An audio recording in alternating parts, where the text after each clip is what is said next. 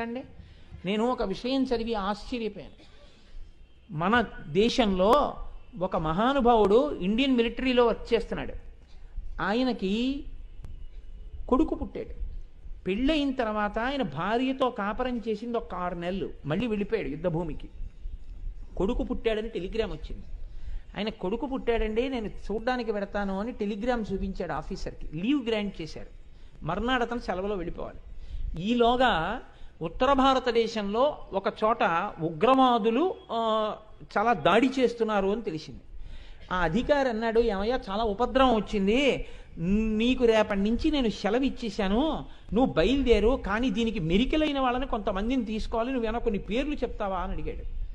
అడిగితే అతను అన్నాడు నా కొడుకుని నేను ఎప్పుడైనా చూడొచ్చు. నా భార్యని ఎప్పుడైనా చూడొచ్చు. నా తల్లి ఆ పతాకం మాత్రం అలా ఎగురుతుండవలసింది నేనే వెడతానని వెళ్ళాడు.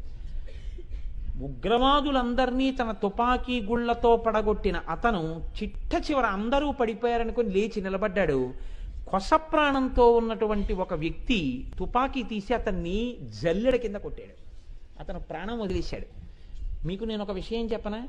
అతని ఫోటో కానీ అతని గురించి కానీ భారతీయ టీవీ ఛానళ్ళు ఏవీ ప్రసారం చేయలేదు. ఎవరు ప్రసారం చేశారో తెలుసా అండి?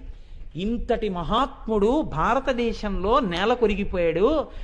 కన్న బిడ్డని కూడా చూసుకోకుండా దేశం కోసం అసువులు బాసిన మహానుభావుడు అని చెప్పి బీబీసీ ఛానల్ కవర్ చేసింది మన ఛానల్స్ కవర్ చేయలేదు.